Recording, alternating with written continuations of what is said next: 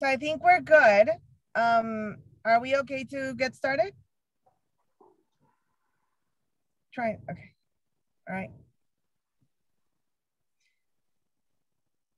All right, good afternoon, everyone. Hello and welcome to the Museum of Latin American Arts um, co-hosting of the Latino Comics Expo of 2021 and their 10th year anniversary. My name is Solimar Salas. I'm the Vice President for Museum Content and Programming here at MOLA. And on behalf of the rest of the team at MOLA, I would like to thank you for joining us today as we learn more about Javier Hernandez and El Muerto Lives, the life and times of the author. Before we begin, I would like to thank the sponsor that made this event possible and accessible. Please enjoy this trailer for the series Star Wars Vision, streaming now on Disney+. Plus. Long ago, a great warrior entrusted our ancestors with this.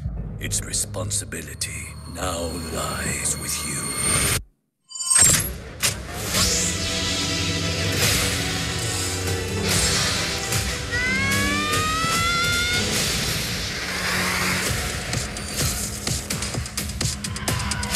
You've been guided by the Force since you were born. It's the first time I've confronted such darkness. Something ancient and sinister.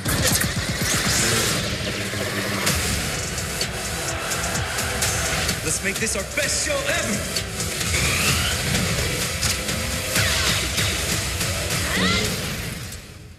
I accept this responsibility.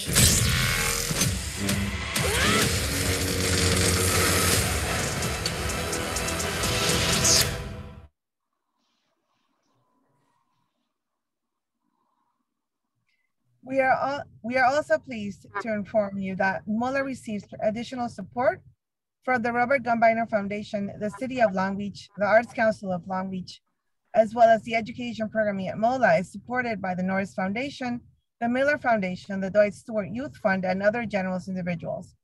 We are pleased to welcome today's co-moderators, Ricardo Padilla and Bobby Hernandez, um, when we are excited to be joined by Javier Hernandez, the creator of El Muerto, a comic book first launched in 1998.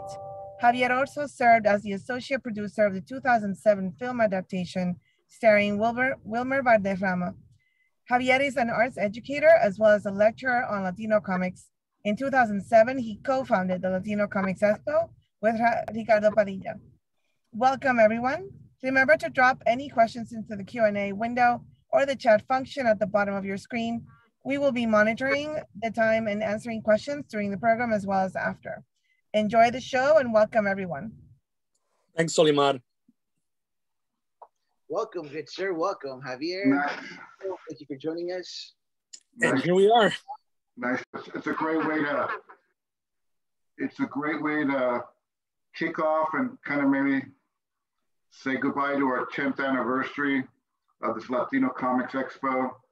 Um, you, of course, co-founder, creative director, but really, uh, I just want to take this moment to say that definitely your work with El Muerto was a great inspiration for this expo. Um, I mean, it's it's a great achievement in your career. Maybe just let's start off by just talking about El Muerto and the effect it's had on your life and how you first started down that road. Yeah, if I could really quick, I just want to thank uh, Mola for hosting us this year and previously. They've, I think, yeah, we've definitely had the longest uh, partnership with Mola uh, over the years. So always great to be back with them. And I want to thank our sponsor, Lucasfilm. And I want to give a personal, quick little, quick thanks to George Lucas. But anyway, let's uh, move ahead. Um, you're asking about El Muerto, my comic book character. I started in 1998.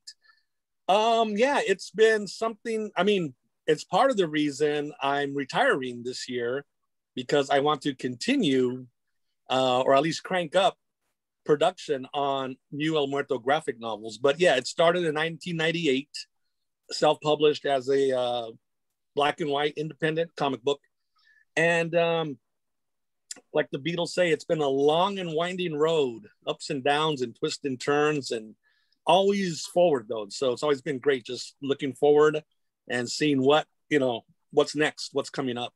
Um, yeah, it was created originally because I wanted to do a character. I wanted to do my own comic book, but I wanted to do something based on a Mexican American folklore and mythology and culture. So I thought back then, uh, Day of the Dead and Aztec mythology, um, something you didn't see a lot of in comics, hardly in comics and hardly in pop culture.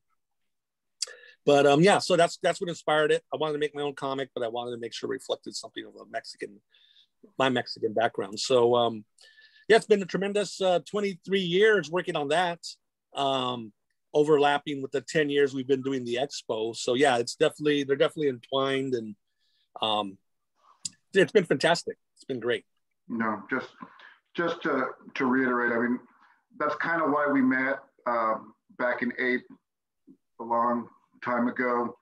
As a father of, of kids that were young at that time, you know, the search is always, you know, for, you know, material that reflects our culture, our, you know, our people, or and to come across as something as impactful and as well done as El Muerto, you know, from an independent writer, creator, you know, where you're just not using our culture as a fetish or a totem, but to really digging in deep and, you know, being accurate and poetic. I mean, really just thank you, Javier. It's one of the major comic creations of the last 25 years. I mean, it, it holds up against anything. And like I said, just as a fan, I just want to thank you for Fort Muerto. It's been amazing.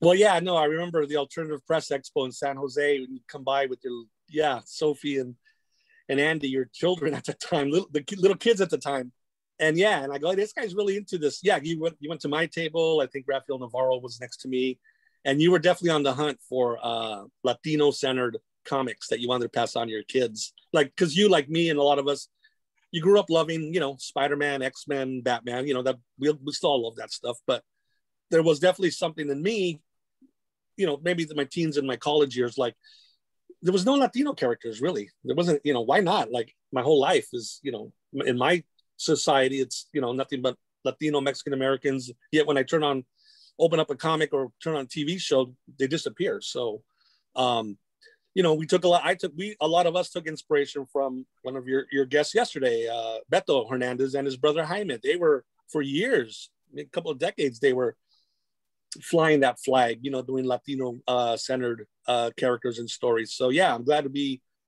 part of whatever we were doing in the 90s. And oh boy, today I can't even I can't even keep track of how many Latino creators are always coming up, popping up, showing up everywhere. It's, and that's good. You don't want you don't want to be able to count like all the Latino creators on one hand or two hands. Like, okay, there's eight of us. No, you want to look at like, oh, there's you know a couple of hundred, whatever. So. Well, that's been the fun part about the expo. Uh, somebody reminded me earlier today that I think maybe at our first expo we had what eight or nine artists, eight or nine tables, and I think one of the last times we were at MOLA before all this COVID, where we have almost 75, 80 artists. Yeah, no more because we had about 80 tables and some of the tables had two artists. So yeah, you know, probably about 100. Yeah, that was our last physical expo back in 2017 at, at uh, in Long Beach at, at Mola. And then the last time I believe that we've all seen each other physically was uh, at the um, at the animation festival prior to this whole shutdown in um, January 2020. So it's glad I'm, I'm, we talk all the time, but I'm really happy to see you here today and uh, here alongside uh, Rico. We um, we've titled we've rightfully titled the tonight's panel uh, El Muerto lives the life and time the, the life and times of uh, Javier, right? Javier Hernandez. Um, what have you what have you been up to with El Muerto these uh, you know th- during this this whole time that you're prepping uh, post post Latino Expo, uh, Latino Comics Expo? Yeah. Um, well, it's funny. Gilbert mentioned yesterday, you know, I think Rico asked him about, you know, hey, what was like life in the pandemic? But yeah, you know, as artists, we're actually always at home anyway drawing. Only difference was we didn't go out to the movies as often or, you know, you know, restaurants, whatever. But we're yeah, I've been just sitting there drawing, you know, in between everything else. So I've been working on my next graphic novel, the second El Muerto graphic novel, Casa del Diablo which I think last year I did a Kickstarter for a preview comic, like the first 26 pages of it. So thanks to everybody who supported that. So but now I'm continuing the rest of the thing, and then of course I'm going to put it all out in you know one one book, one graphic novel. Book number two, book number two of ten is I think the plan. Um, so yeah, basically just doing that. Um, I spent a lot of time just catching up on movies. You know, the last two years, I discovered this thing called Tubi. Like, ooh, look all the free B and the great B movies. Just cool, trashy stuff that Netflix or Amazon maybe is too highbrow to carry. Um, so just been enjoying the time. Um, I've been teaching online. I know it's like I look at another screen, but yeah, I've been teaching like so many other people the last year and a half online. Um, I teach comic book workshops, so everybody knows, and I've, i worked with a group called Artworks LA here in Los Angeles, and I'm currently teaching a class uh, down uh, there in Escondido, down by San Diego area. Um, every Friday, I teach. I'm teaching these fifth grade classes. Um, they're working on a comic on human rights. They each had to pick one of the Universal Declaration of Human Rights, and um, so that's a really rewarding project. And um, I I do miss. I mean, like everything else, I miss the expo, the physical expo. I miss teaching in the class. Um, you get used to it. You get like comfortable doing the Zoom stuff, which you have to get good at it because you do so much of it. But it's like, yeah, you want to be there. You want to interact with people, look at their artwork or whatever, sell books, whatever. So, um, but yeah, it's great to be here talking to you guys, uh, talking with our audience. I did see some of the comments earlier. I'm sure we'll get some questions at the end from Arturo. Um, but, but, yeah, but, but, speaking of but speaking of movies, I I can't let you go without talking about um, one of my favorite movies. I mean, because the honest thing is that you've lived out the dream of many comic book creators, you know, creative people, in terms of having your character turned into an actual Hollywood movie. You know, with Wilmer Valderrama, Michael Parks. I mean, I consider it one of the classic cult films of the last, you know, 10, 15 years, uh, the movie adaptation of your comic El Muerto. Um, you, you got to let us know just how that felt, having that being made into a movie uh, and the experiences around that, because I mean, that's every comic book creator's dream to have their, their work turned into a movie. And, and I felt all in all, it, they did a pretty amazing job. Well, it was a fantastic experience because it was a small independent film. So because I live here in the LA area, I was able to actually meet all the time with the uh, producer Larry Ratner and the writer director Brian Cox, and actually go to the set every day. Like you know, I was there from crack of dawn till oh man midnight or sometimes three in the morning. Um, but it was you, you got producer credit, right? Associate producer on the film, yes sir. Um, had a cameo in it when I got one of the early drafts of the scripts from Brian, he wrote the screenplay.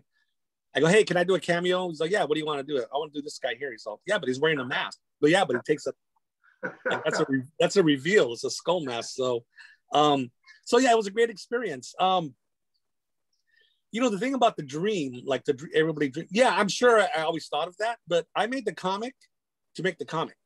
Like when I did, when I, you know, I slaved away on that first El Muerto issue throughout the late '90s but got published in 98 i just love comic books. I love the storytelling aspect of it. I love the uh, the reading and writing part of it. I love the writing and drawing part of it. Um, i was just happy to make like hey i got off my butt made my own comic and then my plan was to just keep making them which i which i have been but yeah the movie came about because i did an interview on um, with npr at san diego comic con probably 2001 no it was 2001 um, uh, with the certain I forgot the reporter's name, but he came to my table, he interviewed me, and then he left. And I go, okay, well, I felt okay. Well, at least I did my part. I did an interview. It's out there. I wasn't expecting anything to come out of it, you know, maybe some sales, but then I got contacted by uh, Brian Cox, our future director. Uh, his assistant goes, "Hey, we saw you heard your interview. We'd like to get a copy of your comic." So they sent me some. was it like a seven or nine dollar check? Because I only had two books at the time I didn't overprice. I, you know, I guess I should no, they're 50 bucks. No, I just said them, you know, I charged them with the pro- book cost and the postage and uh, they got the book. Um, it's really funny. The reporter who interviewed me during the summer at Comic Con, this was the year 9 11 happened. Mm. And then so I remember one time I was working, I was at uh, on my lunch break and I'm listening to NPR, you know, they're covering the disaster there in New York. And, and then I heard that reporter, I re- recognized his name and he was covering, you know, he was at the site, the World Trade Center, talking about the horrible stuff. And after the interview, I just thought it was so like, wow, so interesting the life of a reporter. Like, yeah, you're gonna interview some lightweight, fluffy little comic book uh, story, and then next thing you're reporting on the horrible attack of the century. But um, um, but yeah, so then eventually back here in LA, I got to meet uh, Larry and Brian. There's um wonderful. I always tell about the wonderful courtship, the courtship of the studio or the producers, and then you. So like they want you. So hey, let's go to dinner. So you know, I'm, I'm from a smaller town here next in near Los Angeles, Whittier. But yeah, I'd go meet them and you know, I'd go to steakhouses. I go to places where they're like $15 hamburgers. Like, No, $3 burgers back here in Whittier.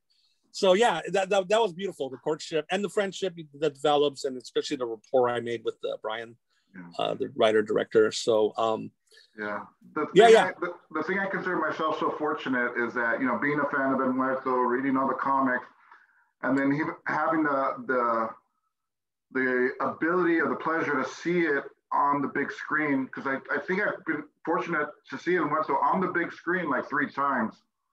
And, you know, to see the reaction of people in the theater to your characters, to your storyline, you know, to see the beauty and the effect that that storyline has on people.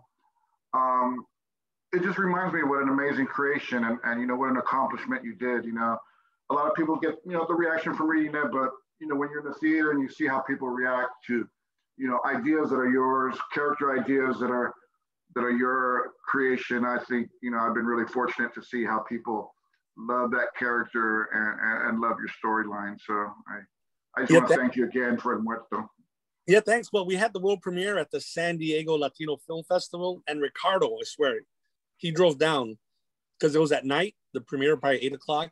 So you left San Francisco that morning or whatever, and then you drove in, you came to the screening, you went with us downtown to the after party. Then I think you drove home. That is that's crazy, man. That is crazy. beautiful. And then you hosted a. I think you helped us hook up a screening in San Francisco at the uh, another hole in the head. I think it was called. Yeah, in the mission. In the mission. So yeah, thank thanks for that. And it's great. Yeah, it is great seeing. Yeah, because when someone reads a comic, they read it on their own, right? You're not there. You're not hovering over them as they read it. But a movie, yeah, that's a community experience. So yeah, I get to sit there and sometimes I look over and I see people looking at the screen or laughing at the at the right joke or something, or you know, every time I had my cameo, you could always hear the audience would laugh, like the people who know you, you know, like oh, there's Javi, whatever.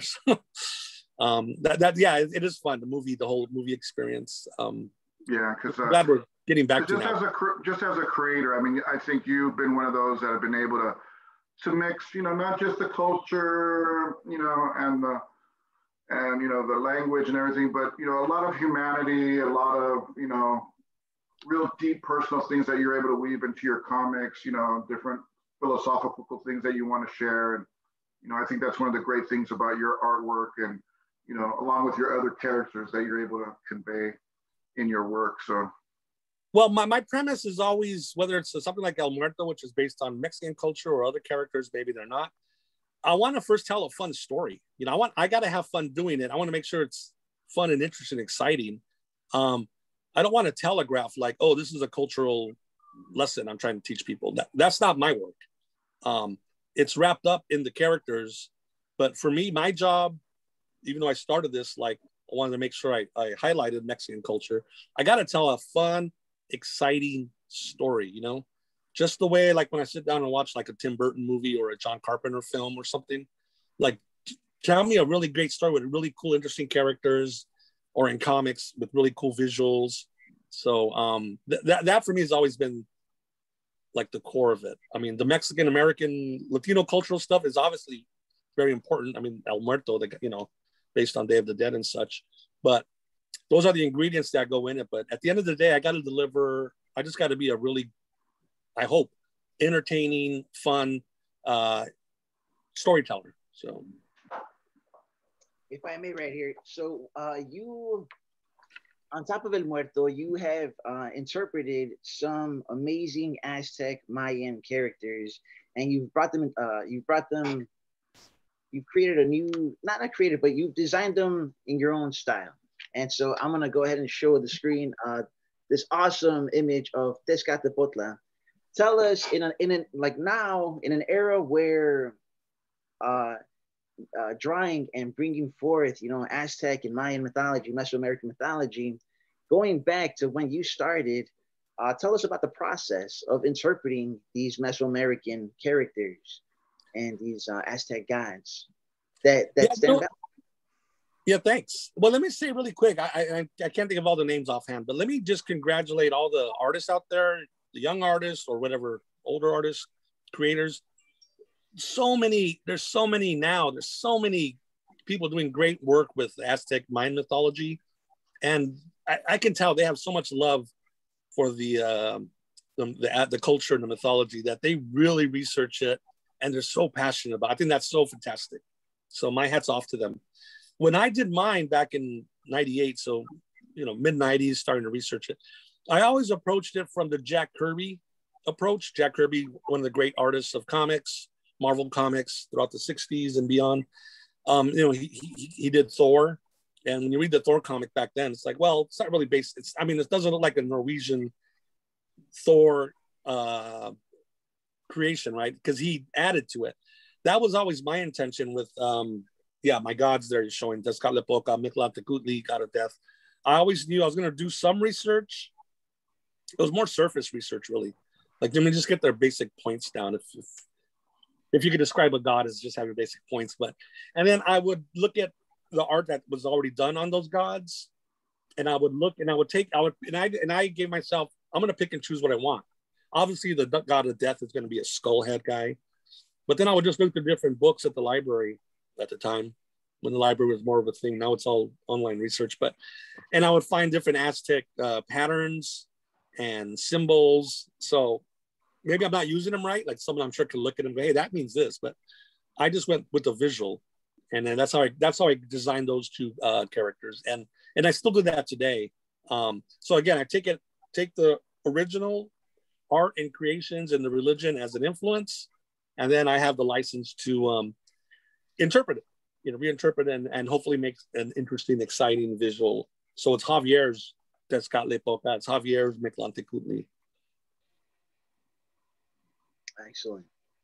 Uh, and then your and then the like your your manga style, like you know the like there's different versions or variations of um, El Muerto, especially now. Like there's um, Loki has uh, created like this whole thing of variants, right? Uh, so uh, is there a possibility of your Manga Muerto meeting your uh, main El Muerto in the future uh, throughout your various books? The madness of the Muerto, the Muerto verse, to take a, a line from the uh, upcoming Spider-Man film next year, or Doctor Strange, I forgot which one. Um, yeah, the the manga Muerto was basically I was you know I grew up. Rico will know this uh, as an older person, a fan of the old 1960s Gigantor, uh, ja- the early Japanese anime that we got over here in the U.S. Um, little boy with the giant robot, and then Gigantor, and, and giant robot and such. Um, so I wanted to do my I wanted to do that, just like the idea of a, some kid controlling this monstrous weapon of mass destruction, basically, but for good. But instead of creating a new character, I go, well, let me just take El Muerto and let me just transfer him onto that um, idea. So that's why we have a manga Muerto. Um, but yeah, they could definitely meet, I guess. Yeah, I mean, I could do a story if I if I if I think of something worthwhile where they meet. I never thought of it actually, because I thought they were just separate concepts. But you know, yeah, you're right. Just throw the multiverse logo on the book. Like, okay, now you can combine your different versions of character your characters from different uh, genres you created. Well, And then go ahead, go ahead, Rico. no, go for it, Bobby. Well, I was gonna I was gonna switch uh, subjects a little bit because I have you I have you both here, and so I know we're, we're celebrating Javier, we're celebrating El Muerto, but we're also celebrating the 10th anniversary of the Latino Yep. Comics Expo. And I mean, since you guys are both here, can you guys elaborate on just some some of your uh, most uh, favorite memories of you know the Latino Comics Expo throughout these last 10 years? Just a few highlights uh, for the both of you. um, Rico? that, that you guys shared. You know. Give us a highlight, Rico. Let me go hard, first. many. Let me do it first, just because um, if you would have known me and Javi back in the day, I mean, you realize, you know, how many miracles, how many, you know, support people have come in in the nick of time to help us. I mean, back when we started the Cartoon Art Museum in San Francisco, um, Javi knows my mom was the one making burritos Yeah. in the artist green room. like that's an amazing memory. We, we were able to get Spain Rodriguez to mm-hmm. come and support us. It was his last show. And just my memories watching him in the green room eating my mom's burritos. Yeah. Smiling. And I was like, you know what? If we got Spain Rodriguez on our side, you know, we, we have a chance, you know, but uh, I mean, there's so many memories, but I think the best memories are just meeting all the artists. You know, we met Bobby from Chicago. We've met, you know, the Hernandez brothers, but just all the other independent local artists who have come to us and said, you know, thanks for doing the expo. Now I'm inspired to do a comic because a lot of people come to the show just as fans, and then the next show they're like, hey, I got a comic now, or. Or I want a table now, and it's it's just been great. That's for me, that's been the most part because I love Latinos, I love Latino comics, and I want to see more content. And uh, like you said, it's grown, you know, to we have an animation fest now. We have, you know, it gets bigger and better every year. So, I mean, there's so many memories, but I guess just the people part of it has been the funnest is hanging out with you guys and just meeting all the artists and seeing all the amazing work uh, your, one of your previous panels, uh, Crystal Gonzalez, she, yeah, she was, I think we met her at the first one. You know, we had never met her before and she heard about our thing and she got a table. And she's been a wonderful friend for all of us for years. And she actually runs our animation festival. So she's a, uh, she turned out to be, yeah, a bigger part of the expo than when she, she first started. So, and there's so many stories like that. Um, one of my favorite memories, I mean, again, yeah, how do you pick one is, um, it, it's always cool. I hope we get back to that next year. Like we have a live show, and then it's like any convention, but this happens to be ours. When you know the tables are all empty, and then you know I show up there with my boxes, I'm unloading, and then I see another artist show up, and just just seeing the artists come in the door with their dollies and their trucks and setting up their stuff, and then like within an hour, it's like whoa, it's you got a fill, filled up a filled up expo now, bringing the audience um, that's always great because it's like we always wanted to create a space, a weekend for these great writers and artists and designers and creators to have a place to meet like the audience that they um i mean i should you know we always tell the artists yeah go to every show you can. Don't just wait for us every year. But when they when the time comes every year it's like okay now here's the weekend for all the latino creators and all the latino audiences or any, any audience really anyone's welcome here. But this is where you're going to get Latino centered content this weekend or Latino creator content. So that's always fun. Um, one, of the, one, of the cool, one of the cool things that we always get is I, I swear, like it never fails. Like at least two or three artists after Expo will always come up to me and say, you know what? Thanks for having this Expo. This was the best sales I've gotten all year. Yeah. Yeah. This was the most I've sold all year because I didn't have to explain what a calaca was, or I didn't have to explain yeah. what a tamale was. People just were hungry for this, and that always makes me happy too when people find an audience, you know, for their work. And I think that's been a major thing that the expo's been able to do. Uh, here's your market, target market, go for it, you know. And the audience, the patrons, they walk in, they tell us like, "Wow, we didn't know there was so many Latino creators." I go, "Yeah, exactly. That's why they're all under one, um, what I call it, one shop, uh, one roof shopping experience, whatever." Um, so yeah, I mean the memories. I think I think me and Ricardo agree. just the people, like the artists, and then the patrons, the audience. Um, and then you know we should really quick uh, thank all our uh, venue partners over the years, beginning with uh, the Cartoon Art Museum. They were, you know, because there was never a Latino Comic Expo before. So when Ricardo approached them, they were very happy to host us. So thank you, uh, Summer Lee, Ron, uh, Andrew, and all your wonderful staff there over the years. They hosted us the first three years um, Martin Luther King Jr. Library at San Jose State. Yep, Catherine Black Reyes, thank you. She was open to take us in, and then of course uh, I got we got to we got to give a thanks to um, Gabriela Martinez who worked at the Mola for so many years and was instrumental. And again, I remember meeting her the first time. She's like, "Yeah, this sounds great. Let me let's talk about it. Let's get it moving." So she was with us, I think, for four shows there. Um, uh, we traveled across the country to uh, Brownsville Museum of Fine Art. They were open. That was a, that was neat going out of state for a show. Um, and then of course, like I said, Mola has been with us for so many shows, and, now virtually. Our first show last year because of the pandemic was virtual, and it was with Mola, so it made it easier because we'd already worked with them. We all just had to learn how to do this whole virtual thing, but here we are doing our second one, which is great. But man, I just hope for the sake of the country and everybody, let's get everybody back out on the road. So everybody do your job at home. You know what that means. Yeah. Oh yeah. Absolutely. Absolutely. Uh, we have a question from Hector. Um, Hector Rodriguez. He's asking a question. He's saying, "How do how do you see the, uh, the Latino Comics Expo uh, ten years from now? Latino Comics Expo 2031." So uh, it's go ahead. Um, well, you know what? I'm going to tell Hector and anybody else that's not for me to answer because I'm retiring in uh, 27 minutes. I will no longer be um, running the expo. I'm to, you know, have a nice retirement. These two gentlemen here on the screen, Ricardo Padilla, the co-founder, executive director, and the young man here who was for a couple of years our operations manager is now going to be taking a co-organizer role. So you guys tell us what is the expo look like in one year, two years, ten years? I'll, I'll let Rico answer uh, because uh, yeah, he's he's well, been first here. of all, I want to quote Godfather Three. They pulled me back in. You will be pulled. You will be pulled back in, Javi. So don't. Oh no no no no. You oh, really run, quick. but you can't hide. You can run. Real, no, really quick. Let me tell everybody, all the wrestling fans out there. So I'm going to retire, but this isn't like a Ric Flair or a wrestler retire, where they retire, they have a big party, everyone's crying, it's beautiful, and then a year later, the guy wants back in, or two years later, he, They break I- a chair. They break a chair over you. yep, and then he gets back. No, no, I'm retiring because I need to focus um, on working on my books. Because every year the expo comes up, as much as we love it, and I do, it's a good three or four months of a lot of work to put on a really good show, especially a live show.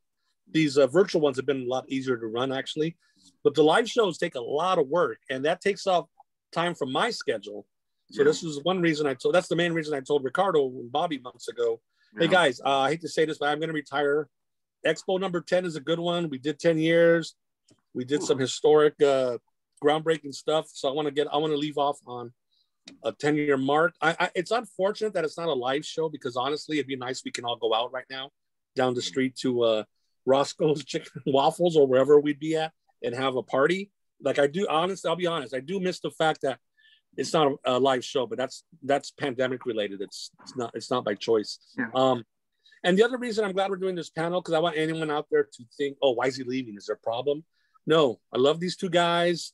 I you know I hate to leave them, but they're gonna handle it, and we're still friends. Um, so there's no there's no hidden drama behind my leaving. It's I'm very open about it. I told them, I'm telling the audience, it's time to retire and just focus on my comics. It's particularly on Muerto, but other stuff I want to do. Yeah. So um, hopefully, I don't know if we answered the question at that point, but As, as a fan, I can't argue with that because I'm always harassing Javi for more material and what the material. I'm the one always bothering, like, when's the next one coming out? When's the next one coming out? So I can't argue with his desire to to get more work done. And like once again, I just want to thank him, you know, for being one of the major impetus of us starting this. If it wasn't for El Muerto, and these first 10 years have been amazing. I think every year we get a little bit better, a little bit bigger, a little bit more professional. Bobby's been a major factor in, in, in our efficiency and stuff like that. So my dream for the next 10 years is that we keep it going, you know, we keep it improving. We want more input, you know, we want more, you know, Latinas, we want more, you know, LGBTQ, we want more Afro Latin, we want everybody to have a voice in our expo and keep making it bigger and better. You know, like we expand a little bit to an animation fest. You know, the dream would be, you know, to be a resource for, for artists and, and people that want to get their work, you know, out there and seen and and also to have artists like Javi, you know, their work discussed, you know. That's what I notice about other conventions is they they'll, they'll discuss, you know, their writers, they'll talk about their meanings. And sometimes people need to know that, you know, we're doing stuff that's just as deep as any other convention, that we have artists just as important as anybody else. So, you know, my dream for the expo is that we just keep it going, you know, let's keep it going. Uh, one other shout out I wanted to give because, you know, doing it for 10 years, we have our ups and our downs.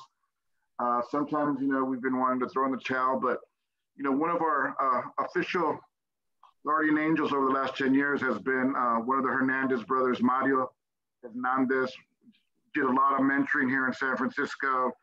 And in my you know low points, I would tell him I was like, man, this expo is killing us. It's so much work, and you know sometimes we don't see the value in it. And he's like, Ricardo, don't.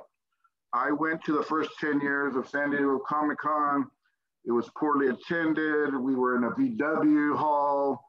R. Crumb was sitting there. Nobody was paying attention to him. He was depressing everybody.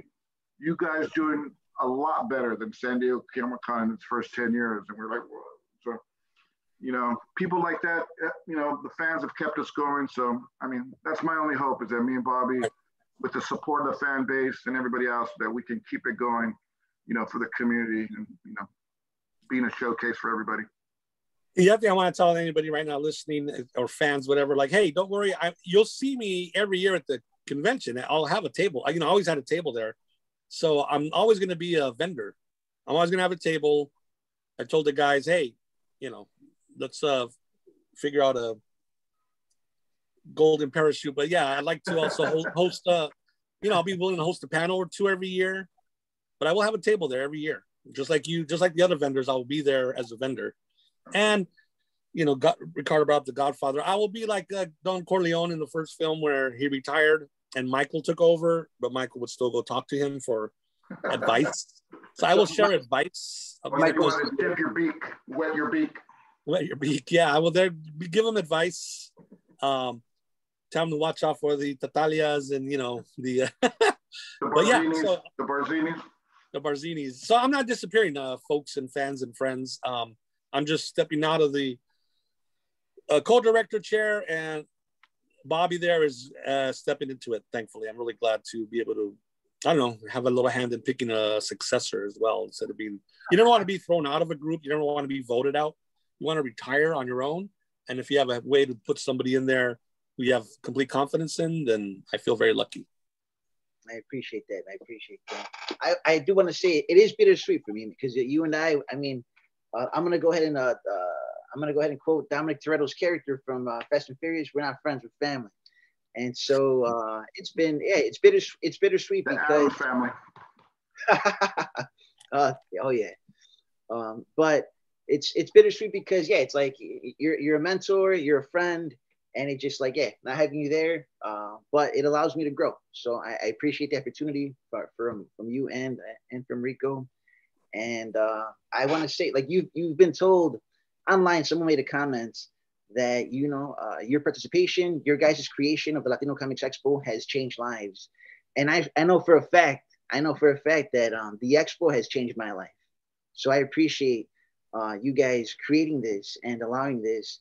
And so in the next 10 years, we need to, yeah, we need to continue. We need to grow.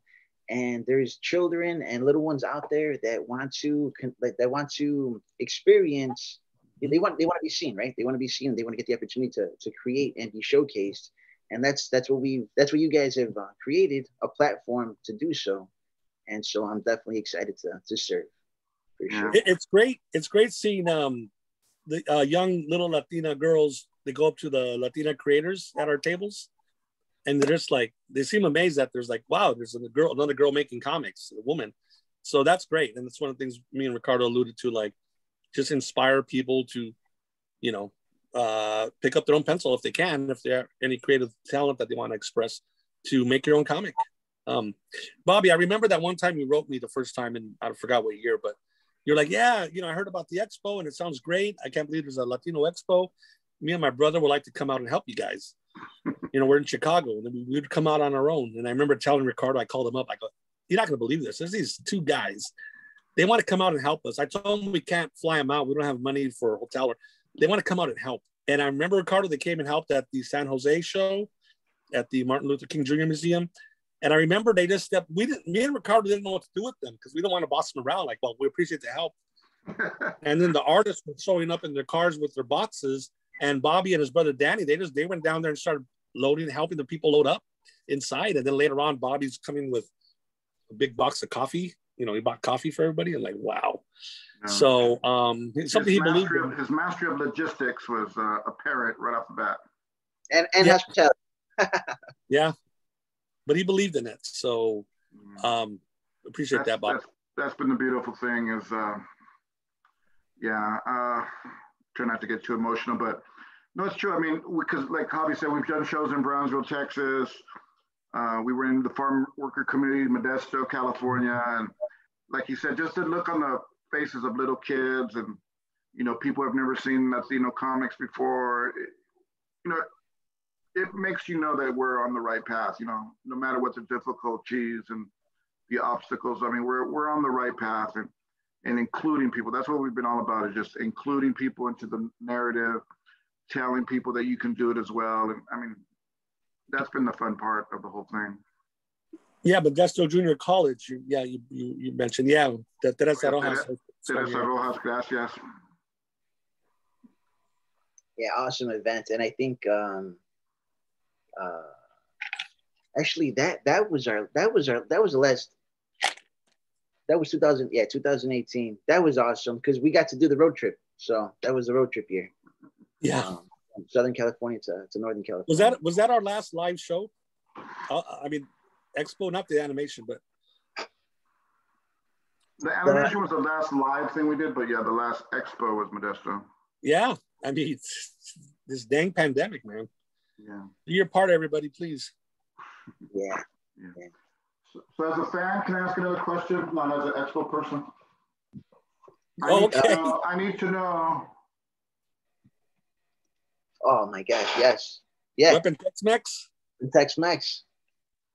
Is he coming back? Yes, I need to know.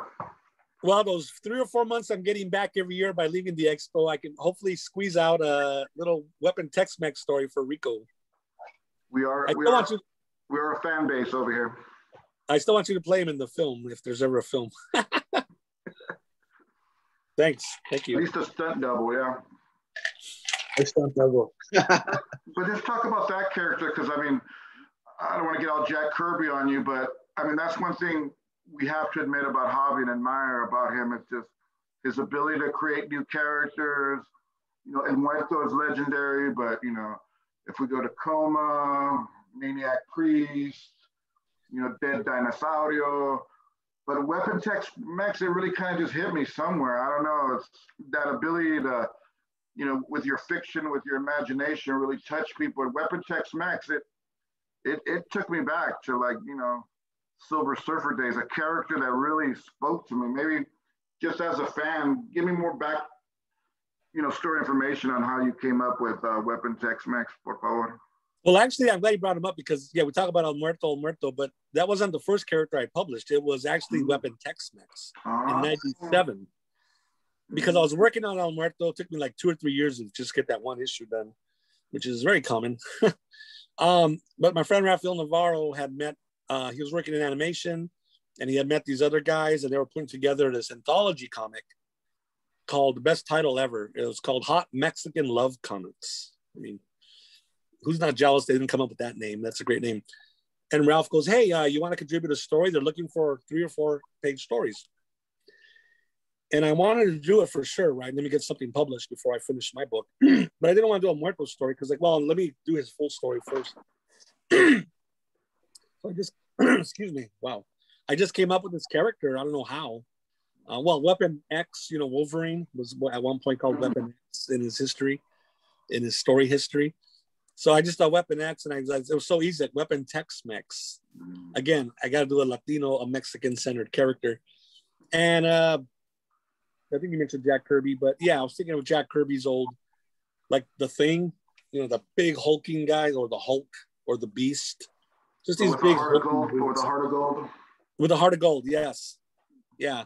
Um, so I just thought this big bulky guy, well, Weapon Tex-Mex. Okay, he's probably going to be a bull, so he's got these steel bull horns and a Zorro mask, and he's like big and burly and skinny legs, bull legs, and cowboy boots. I know. Speaking to Ricardo here, and uh, yeah, I did a humorous, quick little three-page story. I think um, knocked that out, got that published. Like that was my first published work. If you could find, that's a hard book to find. Hot Mexican Love Comics. It might have been issue two, maybe, but I, I only have one copy myself, so don't think of getting that one. Um, it's, in the, it's in the Padilla family collection. Yeah. Oh yeah, no. Rico's got a very nice archive of uh but not just my books, but like a lot of the early 90s Latino and what they call it, El Movimiento, a lot of those early uh, Latino comics and art. Him and his wife have a nice collection of art. Um, sculpture, paintings. So yeah, Ricardo was the perfect partner. Um, not because just I knew him, but when we started the expo, because the way we divide the work, just so people know, give them some insight. So I'm the creative director. I like to just let me just come up with all the panels and uh, the list of artists and everything, and and work with. We got to give a shout out to Jose Cabrera, who created our logo that Ricardo's wearing. Jose Cabrera created the Latino Comics Expo logo. He's a good friend, old friend. He's a graphic designer, cartoonist. He came up with that logo. We, been, we've been using it ever since. And he always works on the posters for the design, or he even illustrated a few of them. Um, where was I going with this? Um, what was that? Up of responsibilities. Yeah, but before that, oh my gosh, I don't remember now. Uh, the, the, the the inner workings of the expo. You're the creative director. Uh, Jose Cabrera oh, yeah. does it, yeah, yeah. the logo posters. So Ricardo, Ricardo's uh, strengths and skills, and I'm glad he because I wouldn't do this. He's our executive director. He was the first one. He's the one who contacted uh, Cartoon Art Museum. I'm not a big fan of getting on phones and calling people and asking for things. And even though all the partners have been great, Ricardo has a lot of skill with that. He'll Ricardo will call a mayor. He'll call a city council for a plot donation. He'll call the biggest uh, corporations in America or Hollywood for donations. So yeah, you need you need that skill. That's not a skill I have and I want. So we're me and him always been a good partnership where he does all that part. Uh, that's that he's got great talent for that. Um, just let me work with the artist, which is I love my artist, but man, it's like herding cats. Can you do application? It's only been three months, but so anyway, that, that's just I wanted to share that how that next cat. Yeah, yeah, yeah. Very artistic cats, but um, so yeah, Bobby's got to move into my position somehow, and you guys, you guys will figure out that again. I'll behind the scenes we'll talk about all that stuff. We don't want to bore the audience with that stuff. Um, but um, but yeah, I just wanted to just give a tip of the hat to Ricardo for everything he's done. Um, and yeah, your mom bringing those burritos that one year, first couple of years, that was the man. People loved it. People kept going back for more and more. And you know, God bless her. She's like, pobrecitos, son artistas. Oh, con sus libritos y sus monitos. Tienen hambre. I was like, no, that's just Jaime Crespo. Jaime, hi. Oh, shout out to Jaime Crespo, man. I think he went, he ate the most burritos that day, I think. Damn. that's funny. Uh, but you like like these last few years, again, as, as we're celebrating you tonight, uh, you've had a lot of uh, experiences. I mean, a lot of uh, not not not many independent comic book creators share your experience of you know of self self publishing, feature film, uh, co-director of the Latino Comics Expo, uh, you know like zine maker of uh, Steve Ditko, and you know like you, you like one of your one of your uh, big uh, heroes. You've got you've gotten you know uh, involved and, and kind of like uh, done a, a, a perfect homage uh, to him. Tell us about uh, educator, you, lecturer. Yeah, T- tell us tell us how you do it all. What like I mean it. it you gotta love it. I think Gilbert said this yesterday. You gotta love what you're doing. I mean, you just really have to. Like I worked a lot of day jobs and I hated it, or you know they're okay, but you start really. The owners are sometimes jerks and idiots. I'm like, why am I working for these people? Um, so yeah, you work on your own. You love what you're doing. You love all the hard work. you love the difficult work, and when it's not work, even when it's not working, you have to. You don't really love it, maybe, but you have to. Just got aguantarlo. You got to put up with it, and then it, you figure out. Then it works, and then you get it working again. Um, it's just out of love, Bobby. Out of love of telling my own stories, my way, my way or the highway. Um, it's a stubbornness for me. I think it's a big. A lot of it's being stubborn um, you got to work with people. Obviously, working with the expo put me in a different position. Even working on the movie, yeah, it's a whole crew. You're just one voice in a whole crew. Or in the expo, you're one of maybe two voices running it. But when you do your comic, me, you know, cartoonist, write and draw, it's just me. I remember working on the movie, right, uh, the Muerto movie back in 2005 for like two months, every day, 12 hour days, working with the crew. You know, I mean, they made the film. I just got to sit there and watch it but it's like they're making your character. I remember the, after the last day, and I came home and I think I rested the whole day for that one day. Then the next night, I remember like, okay, I sat back at the table. I got a big fresh sheet of white paper. I got my pencil. Like, okay, now it's just me again. Like I love working on the film, and I'm glad when it came out, it was great. But man, there's something about for me working by myself on my own. You know, I'll, and I'll stand by the work. You know, you take it. You know, people didn't like it, or this was this was stupid, or you drew it wrong. Okay, but I did it though, at least. You know what I mean? I, you know, I'll take the good and the bad, but it was me. It's like John Carpenter says, like, watch my movie, love it or hate it, it's my movie still. So it's my comic. It's my my comic is my signature on the world is when I I guess when I when I'm gone, that's that's the signature I left. Steve Ditko said either leave a you either leave a what do you say? A stain or um oh God, I forgot to say I forgot the quote.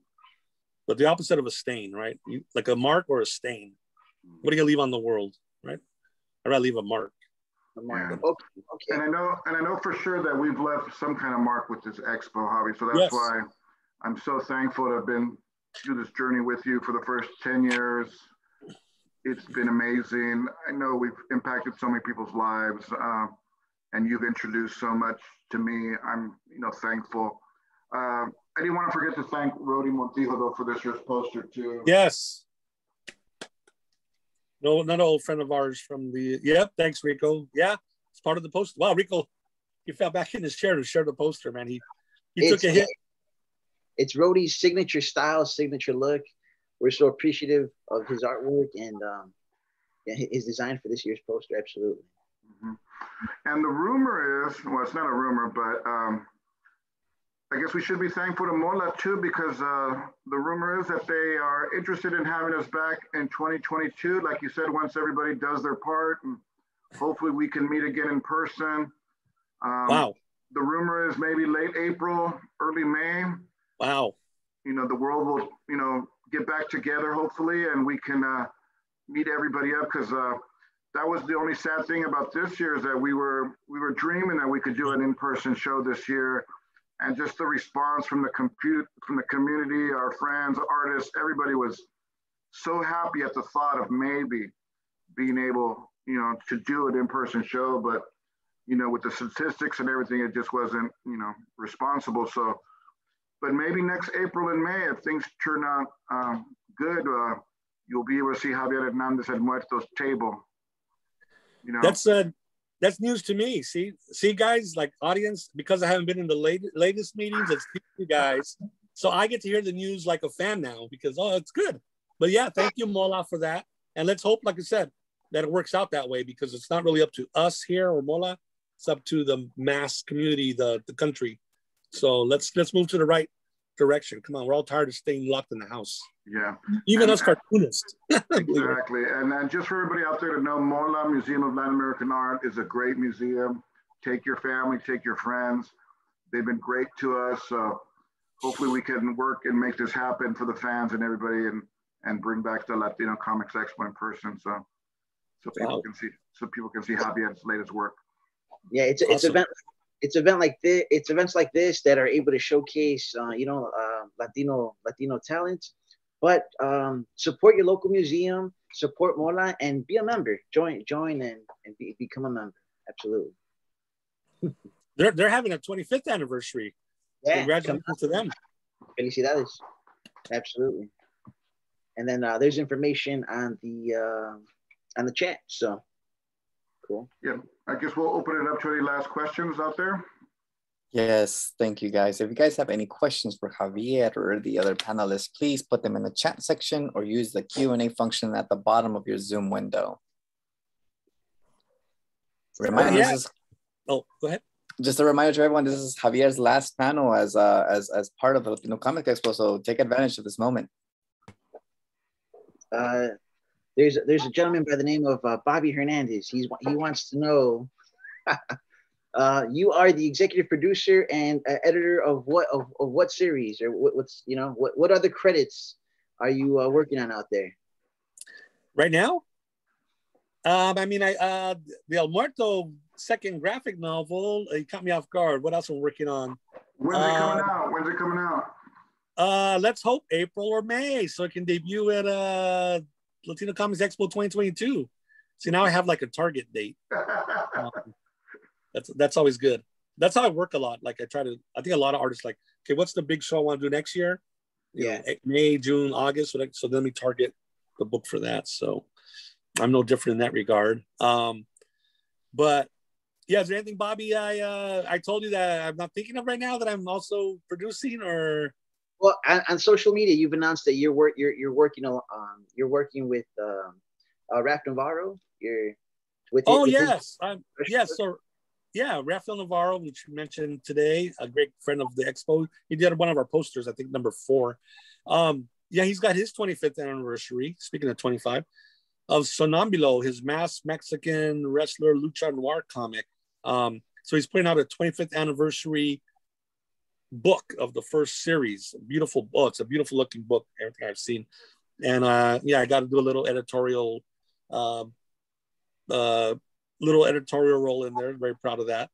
Um, I also wrote the forward for it. So uh, yeah, look for that.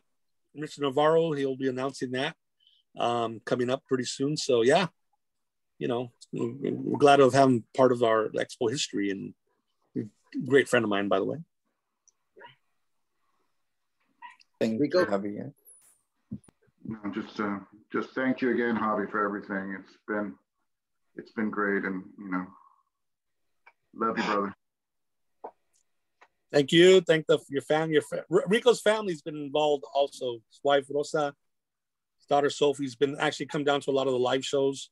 She always sets up at the front LCX table, taking you know, checking people in and you know helping us out.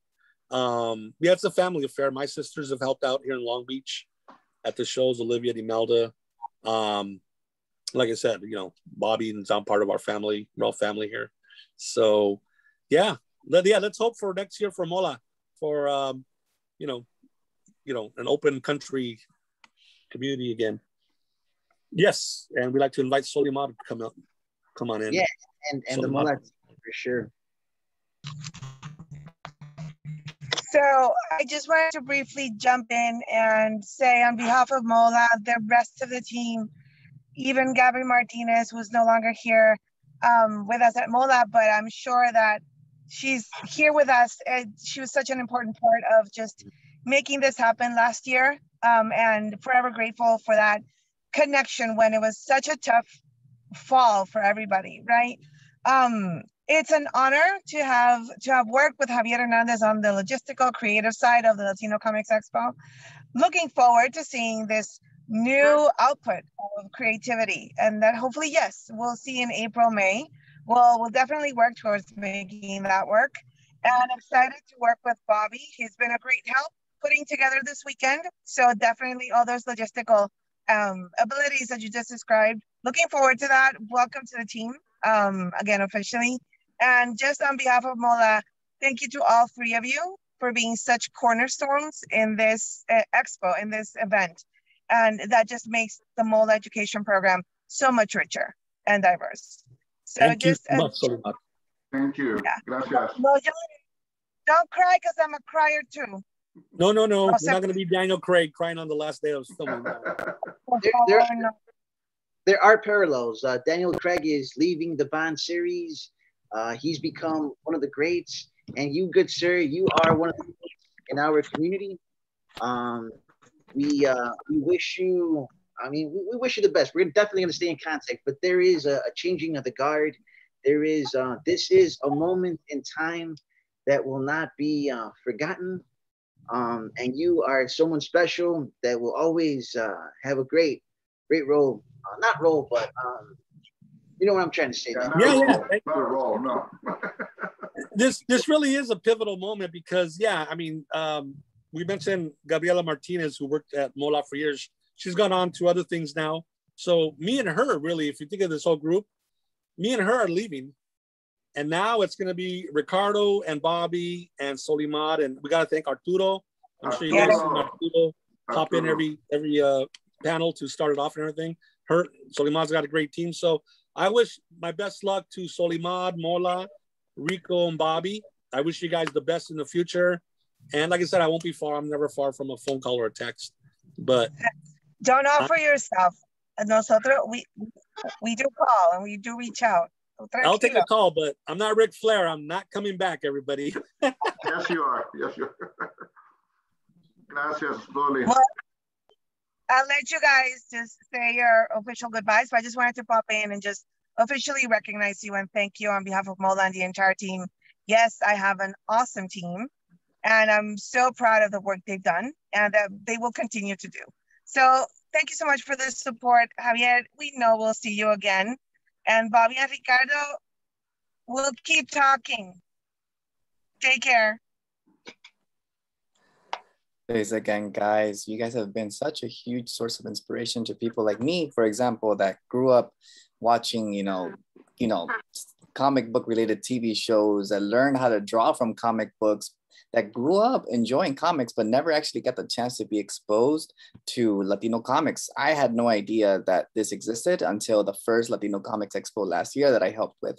So I'm very grateful for you guys existing and I'm excited to what you guys will have in the future. Um, thanks again to everyone that showed up today. This program and all of the programs that we had over this weekend will be available on the MOLA YouTube channel, as well as last year's content for some limited time. Thank you again, everyone. Uh, see you soon. Hopefully see you guys in next year on site. Hopefully. Ready? Yes. Yeah. Bye, everyone. Thanks, Thanks Arturo. Mm -hmm. Thanks, everybody. Uh,